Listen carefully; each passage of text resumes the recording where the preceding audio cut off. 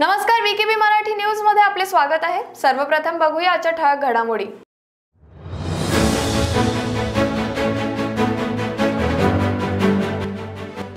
रमाई घरकुल योजनेच्या लाभार्थ्यांना न्याय मिळवून देण्यासाठी भाजपचा राज्य सरकार विरोधात मोर्चा.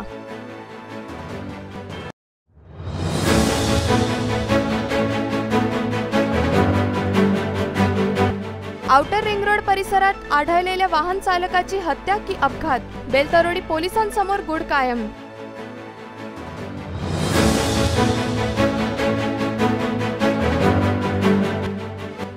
आणि अवैध रेती वाहतूक करणारा डंपर चालक व मालकासह पाचपावली पोलिसांच्या ताब्यात.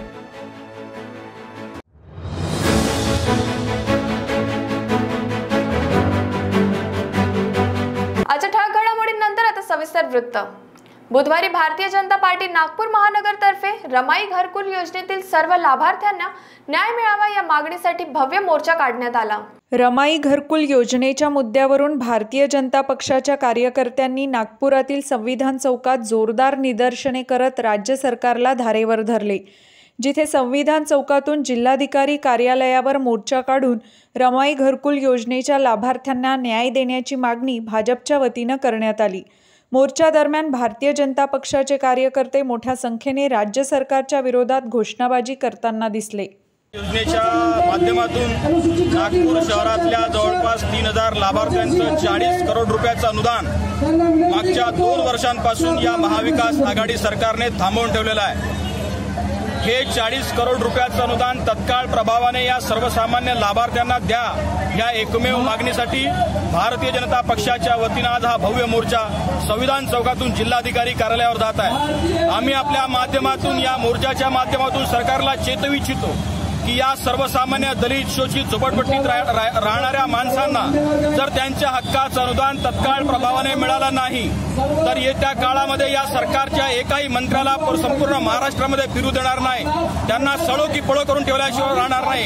आणि म्हणून त्यांचे चाळीस करोड रुपयाचं मागच्या दोन वर्षांपासूनचं अडकलेलं अनुदान तत्काळ प्रभावाने द्या या एकमेव मागणीसाठी आजचा हा मोर्चा प्रचंड मोठ्या संख्येनं संविधान चौकातून निघून जिल्हाधिकारी कार्यालयावर जात आहे. आपले वडील बेपत्ता असल्याची तक्रार द्यायला मुलगा पोलीस ठाण्यात गेला असता त्याला त्याच्या वडिलांचा मृतदेह बघून धक्काच बसला. ही घटना घडली आहे नागपुरातील बेलतरोडी पोलीस ठाण्यात. ही हत्या आहे की अपघात? या संदर्भात बेलतरोडी पोलीस तपास करत आहेत. नागपुरातील वाहनचालक अरुण घरडे सोमवारी रात्रीपासून बेपत्ता होते. दरम्यान मंगळवारी सकाळी एक मृतदेह आउटर रिंग रोड परिसरातील झाडाझुडपात पडून असल्याची माहिती बेलतरोडी पोलिसांना मिळाली. पोलीस घटनास्थळी पोहोचले असता त्यांना घरडे यांचा मृतदेह रक्ताच्या थारोळ्यात आढळून आला. त्यामुळे हा संशयास्पद मृत्यू हत्या आहे की अपघात याचा तपास बेलतरोडी पोलीस करत आहेत. आपल्या बेलतरोडी पोलीस स्टेशन अंतर्गत वर्धा रोड राणी कोठी ते टोल नाका असं जाण्याच्या रस्त्याच्या डाव्या बाजूला एक बॉडी आहे किंवा एक पुरुष जातीचा व्यक्ती पडलेला आहे अशी माहिती आम्हाला गावच्या पोलीस पाटलाकडनं भेटली होती. त्यावरून पोलीस ताबडतोब तिथे रवाना झाले. परंतु त्या इस्माला ओळखणारे कोणीही आमच्याजवळ नव्हते. त्यामुळे आम्ही त्याची ओळख पटवण्याचा खूप प्रयत्न केला. त्यावेळेला ती व्यक्ती मृतावस्थेत होती. आणि त्यानंतर काही कालावधीनंतर पोलीस स्टेशनला एक मुलगा त्यांचा शोधत आलेला होता. तिला म्हणजे त्या आहे त्याला माहीत नव्हतं इकडे कोण आहे. तो शोधात आला असता त्याला पोलीस स्टेशनच्या आमच्या कर्मचाऱ्यांनी सांगितलं वर्णनावरून. असा व्यक्ती आम्हाला भेटलेला. तर तुम्ही त्याला आणि ते ओळख बघा. त्यावरून मुलगा तिथे स्पॉटवर आला. तर त्यांनी ते ओळखलं की ते त्याचे वडीलच होते. अरुण गोपीचंद घरडे त्यांचं वय आहे त्रेपन्न वर्ष आणि ते एक बोलेरो पिकअप चालक मालक आहे किरायाने सामान घेऊन जाणे वगैरे असं त्यांचा व्यवसाय होता. आणि मुलांकडनं अशी माहिती भेटली की ते दारू पण प्यायचे. आणि घरी येणं येण्याचा त्यांचा निश्चित वेळ नव्हता. त्यामुळे काल रात्री तो शोधत बसला आणि सकाळी सुद्धा त्या वडिलांना शोधत होता. त्यामुळे आता पोलिसांनी पुढची मर्ग दाखल केलेला आहे आणि पोलिसांतर्फे तपास सुरू झालेला आहे. त्याला असं काही सांगता येणार नाही. प्रायमापेशी मर्ग आपण दाखल करून तपास करतो. त्यानंतरच पुढील माहिती नागपुरातील पाचपावली पोलीस ठाण्याकडून अवैध रेती वाहतूक करणाऱ्या डंपरवर कारवाई करत पाचपावली पोलिसांनी डंपरवर रेतीसह चालक व त्याच्या मालकाला अटक केली आहे. मंगळवारी रात्री पाचपावली पोलीस ठाण्याचं पथक पेट्रोलिंग करत असताना त्यांना एका पिवळ्या रंगाचा वाळू भरलेला डंपर दिसला. पोलिसांना त्या डंपरची शंका आली असता त्यांनी चालकाला डंपर थांबवायला सांगितला व त्याच्याकडे वाळूसंबंधी विचारपूस केली. सुरुवातीला डंपर चालक पोलिसांना उडवाउडवीचे उत्तरं द्यायला लागला. नंतर मात्र पोलिसांनी आपला पोलिसी खाक्या दाखवताच त्याने ही वाळू बिना संगम घाट इथून आणल्याची कबुली दिली. ही वाळू त्याने चोरून आणल्याचं पोलिसांच्या लक्षात येताच पोलिसांनी त्याच्याविरुद्ध व त्याच्या मालकाविरुद्ध गुन्हा दाखल करून दोघांनाही अटक केली आहे. अवैध वाळू वाहतुकीमुळे अमर्याद रेती उपसा होत असल्याने पर्यावरणाचे प्रचंड नुकसान होत आहे. हीच बाब लक्षात घेता पाचपावली पोलिसांनी शासनाचे जे नियम आहेत त्या नियमानुसार वाळूचा व्यवसाय करावा. बेकायदेशीररित्या करू नये असे आवाहन केले आहे.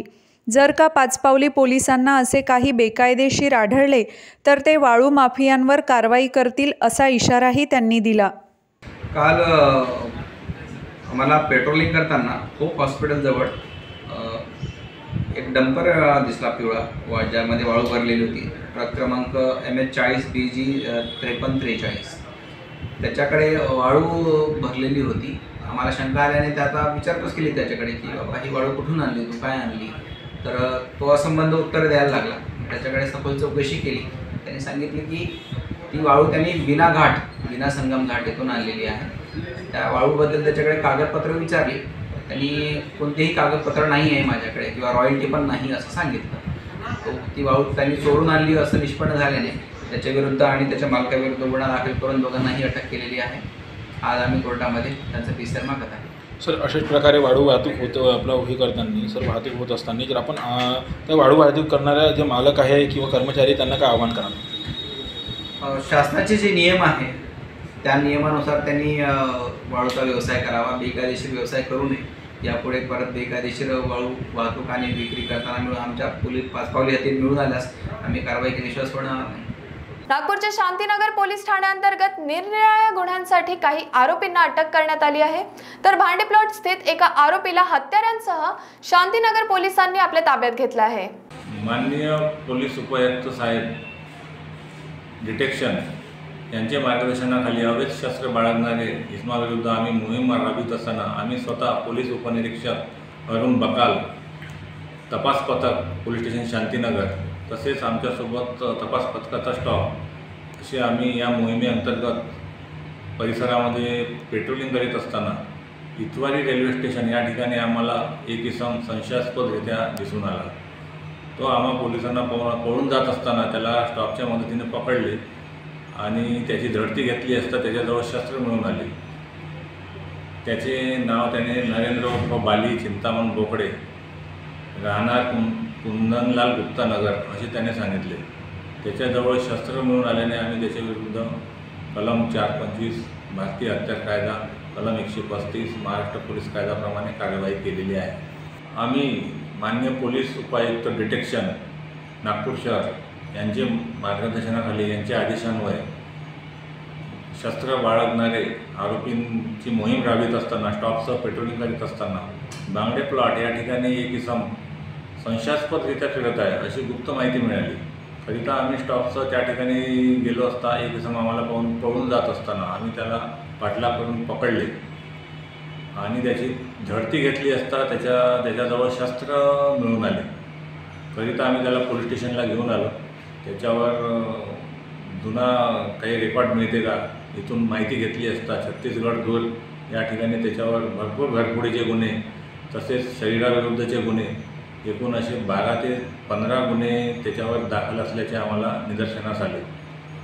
आम्ही त्याच्यावर कलम चार पंचवीस एकशे पस्तीस प्रमाणे गुन्हा दाखल करून त्यास अटक केलेली आहे. माननीय पोलीस उपायुक्त साहेब डिटेक्शन यांचे आदेशान्वये संपूर्ण नागपूर शहरामध्ये अवैध शास्त्र बाळगणारे यांच्याविरुद्ध आम्ही मोहीम राबवित असताना स्टॉपसह आम्ही एरियामध्ये पेट्रोलिंग करीत असताना गुप्त बातमीदारांद्वारे माहिती मिळाली की बस्तरवाडी या ठिकाणी एक इसम संशयितरित्या फिरत आहे. आम्ही सापळा रचून त्याला ताब्यात घेतले. त्याच्याजवळ शस्त्र एक चाकू मिळाला. त्यामुळे आम्ही त्याला अटक केली. त्याला आम्ही क्राईम रेकॉर्ड चेक केला असता तो पोलीस स्टेशन बर्डी हद्दीतून एक वर्षाकरिता नागपूर शहरातून तडीपार असल्याचे समजले. जिल्हा परिषद कार्यालयासमोर थकीत मानधन आणि मानधन वाढ आणि सीटूच्या कर्मचाऱ्यांना शासकीय दर्जा देण्यात यावा वाढीव मोबदला देण्यात यावा अशा विविध मागण्यांसाठी सीटूच्या महिलांतर्फे धरणे आंदोलन करण्यात आले. सणासुदीचे दिवस आले तरी थकीत मानधन अजूनही देण्यात आले नसल्याने आंदोलनाची वेळ आली असल्याचे महिलांनी प्रतिक्रिया देताना सांगितले. तसेच दिवाळीच्या आत सर्व मागण्या मान्य कराव्यात आणि कर्मचाऱ्यांना दिलासा द्यावा या मागण्यांसाठी जिल्हा परिषदेच्या कार्यालयासमोर सीटूचे कर्मचारी एकत्रित आले. नमस्कार मी आशा गटप्रवर्तक मीनाक्षी गायकवाड वर्धा अर्बन. आमचा आजचा जो इथे आम्ही सगळे एकत्र जमलेलो आहो आजचं जे आमचं आंदोलन आहे ते आमचं जे राज्य शासनाने आम्हाला मंजूर केलेलं होतं दोन हजार वीसमध्ये त्यानुसार जो एप्रिलपासूनचा मोबदला आहे तो अजूनपर्यंत मिळालेला नाही दोन हजार आणि तीन हजार. आशांना दोन हजार मान्य केले होते आणि गटप्रवर्तकांना तीन हजार मान्य केले होते. तर एप्रिलपासून अजूनही ते मानधन मिळालेलं नाही आणि त्या शा निर्णयानुसार आता पत्र काढलेलं आहे तर ते पण आम्हाला ऑगस्टपर्यंतच द्यायचं. फक्त पाच महिन्याचा मोबदला द्यायचा.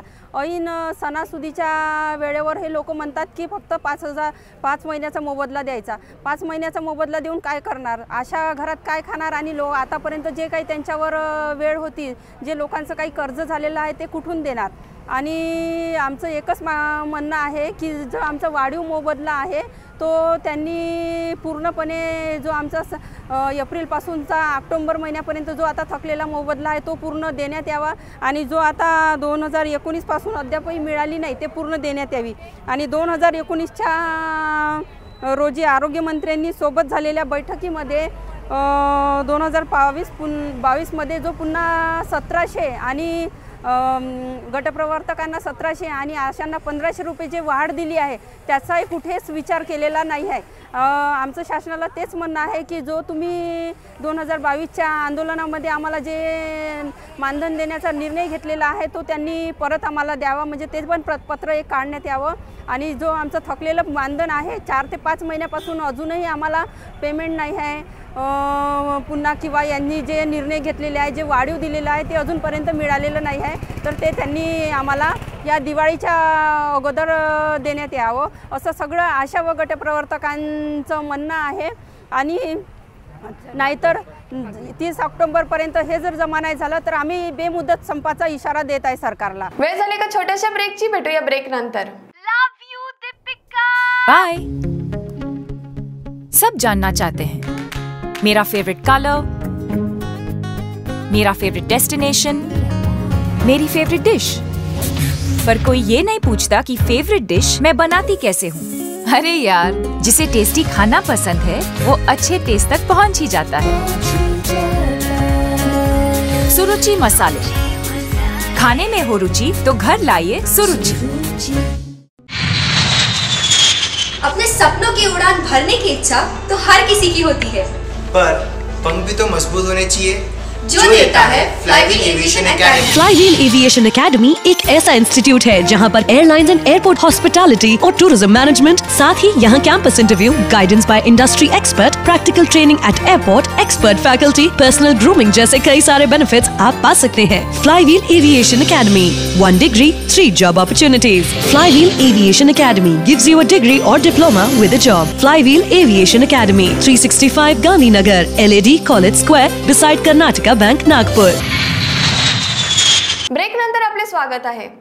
नागपूर तहसील पोलीस ठाण्याअंतर्गत मंगळवारी सरकारी रेशनचा काळा बाजार करण्याच्या संशयावरून दोन आरोपींसह धान्याचे सत्तर पोते पोलिसांनी आपल्या ताब्यात घेतले.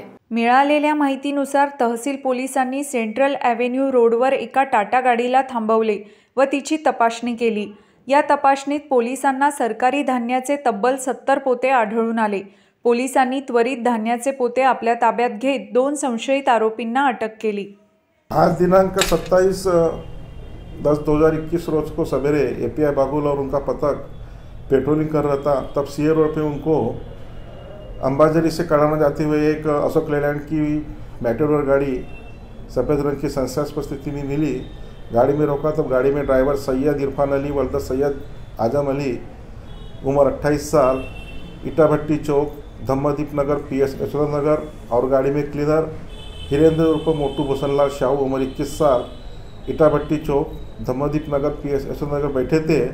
गाड़ी का सर्च किए तो गाड़ी के पीछे मेटेडोर में कुल गवर्नमेंट के राशन के सत्तर बोरे, कुल तीन टन चावल बिना कागज़ पत्र से प्राप्त हुआ। हमारे पतक एपिया बाबुल को इसमें शंका है कि ये गवर्नमेंट का राशन का चावल होगा। इसलिए उसको पुलिस हथ में पुलिस स्टेशन तहसील में ला के जब्त की है। और अभी फ़ूड डिस्ट्रीब्यूटिंग ऑफिसर इनको लेटर दिया है और उनको जाँच के बाद आगे की कार्रवाई की जाएँगी। नागपूर महानगरपालिकेद्वारे विद्यार्थ्यांसाठीच्या शैक्षणिक करिअर मार्गदर्शन केंद्राचे उद्घाटन महापौर दयाशंकर तिवारी यांच्या हस्ते पार पडलं. हे मार्गदर्शन केंद्र सोमवार, बुधवार व शुक्रवार सकाळी अकरा ते दोन वाजेपर्यंत विद्यार्थ्यांच्या सेवेसाठी खुलं राहील. नागपूर महानगरपालिकेद्वारे गरजू विद्यार्थ्यांसाठी शैक्षणिक करिअर मार्गदर्शन केंद्र सुरू करण्यात आलं आहे. या मार्गदर्शन केंद्राद्वारे विद्यार्थ्यांचं काउन्सिलिंग करण्यात येईल. या मार्गदर्शन केंद्राचं उद्घाटन महापौर दयाशंकर तिवारी यांच्या हस्ते करण्यात आलं असून हे मार्गदर्शन केंद्र सोमवार बुधवार व शुक्रवारी सकाळी अकरा ते दोन वाजेपर्यंत विद्यार्थ्यांकरिता खुलं राहील. नागपूर महानगरपालिकेच्या माध्यमातून विद्यार्थ्यांसाठी आम्ही एक काउन्सिलिंग सेंटर उद्घाटित केलं. आणि त्या काउन्सिलिंग सेंटरला चांगला प्रतिसाद मिळाला. जे गरीब विद्यार्थी ज्यांना ऑनलाईनचं सिस्टम समजत नाही ज्यांना काही त्रुटी असतात किंवा मिळालेल्या पर्सेंटप्रमाणे कोणती चॉईस भरायची हे कळत नाही ते इकडे येऊन स्वतः आमच्याकडनं मार्गदर्शन घेतात. आणि एक सामाजिक संस्थाचा माणूस उमेश कोठारी निशुल्क त्याचं मार्गदर्शन करतो. आणि त्याला चांगला प्रतिसाद मिळाल्यानंतर विद्यार्थ्यांची चांगलं संख्या आल्यानंतर माझ्या डोक्यात एक विषय असा होता की एक सिनियर सिटीजनसाठी आणि सोबतच जे एक्स सर्व्हिसमॅन आहे यांच्यासाठी सुद्धा ही व्यवस्था उभी व्हावी. या दृष्टीने एक ऑक्टोबरला सिनियर सिटीजन डे होता. त्यासाठी senior citizen council of Nagpur हे नागपूर डिस्ट्रिक्टचे जे सिनियर सिटीजन कौन्सिल आहे त्याचे लोक डॉक्टर रेवतकर यांच्या नेतृत्वात मला भेटायला आले. आदरणीय खर्चेजी जे अध्यक्ष आहेत ते भेटायला आले. त्यांच्या डोक्यात सिनियर सिटीजनचा एक कार्यक्रम घ्यायचा होता. मी त्यांना सांगितलं एकच नाही महानगरपालिका आझादीची पंच्याहत्तरवी वर्षगाठ आहे म्हणून जास्त कार्यक्रम घेईल. आणि वेगवेगळे कार्यक्रम मी त्या दिवशी आयोजित केले. आणि मी त्यांना निवेदन केलं की जसा हा कक्ष सुरू आहे तसा सिनियर सिटीजनचा कक्ष सुरू झाला. तर जे सिनियर सिटीजन लोक महानगरपालिकेच्या परिसरात येतात नवीन बिल्डिंग पुराणी बिल्डिंग एक डिपार्टमेंट दुसरा डिपार्टमेंट कळत ना कळत त्यांना इकडे तिकडे फिरावं लागते त्यांची गैरसोय नाही झाली पाहिजे म्हणून एका कक्षात ज्या सिनियर सिटीजनची कंप्लेंट आली शिकायत आली आणि त्याचा तोडगा महापौर कार्यालयाच्या माध्यमातून करू शकलो तर ते जास्त सोयीस्कर होईल आणि सिनियर सिटीजनला दिलासा देण्यात महानगरपालिकाकडनं एक कदम उचलण्यात आलेला असा दिसेल. पण याच्यासाठी महानगरपालिकेचा कर्मचारी बसला तर त्याची वागणूकची आम्ही जिम्मेदारी घेऊ शकत नाही. म्हणून सिनियर सिटीजन कौन्सिलचाच माणूस बसायला पाहिजे असं मी निवेदन केला. माझ्या निवेदनाला या संस्थेने मा स्वीकृती दिली आणि आज आम्ही उद्घाटन केला. दर मंगळवारी आणि गुरुवारी आठवड्यात दोन दिवस सिनियर सिटीजन या कक्षात येतील. त्यांची जेवढी मागणी आहे त्यांची शिकायत आहे सर्व एका ठिकाणी एकत्र करण्यात येईल. आणि डिपार्टमेंट वाईज त्याची स्क्रुटनी करून महानगरपालिकेच्या महापौर कार्यालयातनं त्या समस्याचं निराकरण करण्याच्या दिशेने आम्ही वाटचाल करू. याच्यामुळे सिनियर सिटीजनला मोठा दिलासा मिळेल असं मला वाटतं एक बाब मी बोलू इच्छितो. जेव्हा आम्ही काउन्सिलिंग सेंटर उघडला होता तेव्हा आम्हाला वाटत होता मुलांची आम्हाला फक्त काउन्सिलिंगच करायची आहे. पण एक वेगळाच सोशल कॉज आमच्याकडे लक्षात आला. महानगरपालिकाचे जे गरीब विद्यार्थी महानगरपालिकेच्या काउन्सिलिंग सेंटरमध्ये आले आणि आम्ही त्यांना काउन्सिलिंग केली. तो जे ओ बी सी वर्ग आहे ॲडमिशनसाठी क्रिमिलेअर सर्टिफिकेट नितांत आवश्यक असतो. आणि कोणत्याही विद्यार्थीकडे क्रिमिलेअर सर्टिफिकेट नव्हता. मग मी महानगरपालिकेच्या समाज कल्याण विभागासोबत बोललो आणि महानगरपालिकेच्या समाज कल्याण विभाग कलेक्टर ऑफिससोबत बोलून महानगरपालिकेच्या शाळेंमध्ये शिकणारे जे विद्यार्थी आहे त्यांचे कास्ट सर्टिफिकेट बनवण्याच्या दृष्टीने महानगरपालिका आपली यंत्रणा स्वतः उभी करत आहे. म्हणजे एका कामाचा मागे लागलं तर दुसरा काहीतरी चांगला निष्पंदन होऊ शकतं याचं उत्कृष्ट उदाहरण हा आहे ज्याच्यामुळे मुलांना आम्हाला दिलासा देण्यात होईल तसंच या प्रक्रियेच्या माध्यमातून आणखीन काही अमृत निघाला तो ते सुद्धा आम्ही करू अशी मी गवाही देतो. खरं तर समाजाची आवश्यकता आहे ज्या लोकांच्या भरोश्यावर या देशात आझादीची पंच्याहत्तरवी वर्षगाठ आपण गाठत आहोत ज्यांच्या प्रयत्नामुळे ज्यांच्या अकन अनकथ कथांमध्ये ज्यांच्या मेहनतीमुळे या देश घडवण्यात आलेला आहे त्या लोकांबद्दल समाजाची जी जबाबदारी आहे ते समाजाने निभावली पाहिजे त्या दृष्टीने हा माझा पाऊल आहे. आणि याच्यात कोणत्याही प्रकारचं राजकारण नाही. मला आपण सांगितलं की कोणत्याही महानगरपालिकेत असा कक्ष नाही आहे. मी निवेदन करतो आपल्या माध्यमातून की प्रत्येक महानगरपालिकेत सिनियर सिटीजनसाठी कक्ष असणं नितांत आवश्यक आहे. त्या दृष्टीने सगळ्यांनी प्रयत्न करायला पाहिजे अशी मी अपेक्षा बाळगतो. नागपूर शहर अंमली पदार्थ मुक्त करण्यासाठी पोलीस विभागाने मोहीम सुरू केली आहे. अंमली पदार्थ विक्रेत्यांवर सातत्याने कारवाई सुरू आहे. सोमवारी रात्री पोलिसांनी विशेष मोहीम राबवली ज्यात गांजा विक्रेत्यांसह त्याचे सेवन करणाऱ्यांवरही मोठी कारवाई करण्यात आली. शहरातील तरुणांमध्ये अंमली पदार्थांचे व्यसन वाढत आहे. याची गांभीर्याने दखल घेत पोलीस आयुक्त अमितेश कुमार आणि सहपोलीस अधीक्षक अस्वती दोर्जे यांनी गुन्हे शाखेला विशेष कारवाई करण्याचे निर्देश दिले. तसेच सर्व अंमली पदार्थ विक्रेत्यांवर कडक कारवाई करण्यास सांगितले. डीआयजी सुनील फुलारी आणि डीसीपी चिन्मय पंडित यांनी संपूर्ण गुन्हे शाखेला या कामात गुंतवून घेतले.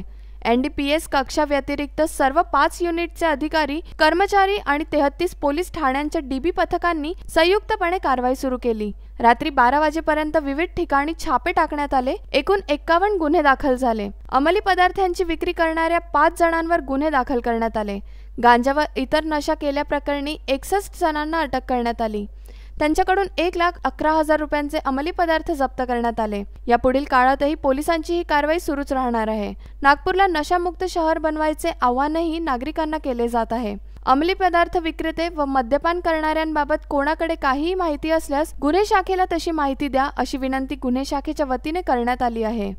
गेल्या काही दिवसांपासून नागपूर शहरामध्ये अंमली पदार्थांचं सेवन आणि याच्याबद्दल वेगवेगळ्या प्रकारच्या माहिती आमच्यापर्यंत येत होत्या. या माहित्यांची गंभीरपणे दखल घेत नागपूर शहराचे जे पोलीस आयुक्त आहेत अमितेश कुमार सर आणि additional C P Shri Phulari sir यांच्या मार्गदर्शनाखाली आम्ही तेहतीस पोलीस स्टेशनच्या तेहतीस टीम्स बनवून तसंच क्राईम ब्रांचच्या पाच टीम्स बनवून अशा साधारण चाळीस एक टीम्सनी आम्ही एका रात्रीमध्ये म्हणजे परवा दिवशी संध्याकाळी सहा वाजता ही मोहीम सुरू केली आणि रात्रभर ही मोहीम चालली. आणि त्यामध्ये आम्ही पूर्ण नागपूर शहरामध्ये एकूण एक्कावन्न गुन्हे दाखल केले. त्या एक्कावन्नपैकी शेहेचाळीस गुन्हे हे सेवनाबद्दल म्हणजे कन्झम्पशनचे होते. हे सर्व गुन्हे एनडीपीएस कायद्याअंतर्गत दाखल केले. त्यामध्ये शेहेचाळीस गुन्हे हे सेवनाचे गुन्हे होते आणि पाच गुन्हे हे विक्री किंवा जवळ बाळगण्याच्या कलमांच्या अंतर्गत आम्ही दाखल केलेले आहेत. या सर्व गुन्ह्यांमध्ये सहासष्ट आरोपींना आम्ही अटक केलेली आहे आणि त्यांच्याकडून सुमारे एक लाख एक अकरा हजार चारशे बावीस रुपयांचा अंमली पदार्थांचा मुद्देमाल हा देखील आम्ही जप्त केलेला आहे. तर मला नाही वाटत की राज्यामध्ये किंवा इतर कुठेही देशामध्ये एका दिवसात एक्कावन्न गुन्हे दाखल करण्याची कारवाई ही कुठे केली गेलेली असणार आहे. आम्हाला असं वाटतं की ही मोहिमेची सुरुवात आहे आणि या मोहिमेद्वारे आम्ही अंमली पदार्थ बाळगणारे सेवन करणारे विक्री करणारे पेडलर्स यांना हा आमचा एक अत्यंत स्ट्रॉंग असा संदेश आहे की इथून पुढे नागपूर शहरामध्ये आम्ही यांचे धंदे चालू देणार नाही आहेत आणि ही कारवाई अशीच गंभीर कारवाई आम्ही वारंवार ड्राईव्ह घेऊन आम्ही करत राहणार नागपूरच्या तहसील पोलीस ठाण्याअंतर्गत वीज बिलाची थकबाकी वसूल करण्यासाठी गेलेल्या विद्युत विभागाच्या कर्मचाऱ्यांसोबत दोन भावांची जोरदार हाणामारी झाली. एका कर्मचाऱ्याला काठीने मारून जखमी केले व वाहन फोडण्याची धमकी दिली असून घटनेची माहिती पोलिसांना देण्यात आली. खदान रहिवासी हरीश रज्जुलाल नायक यांच्या फिर्यादीवरून तहसील पोलिसांनी गुन्हा दाखल केला आहे.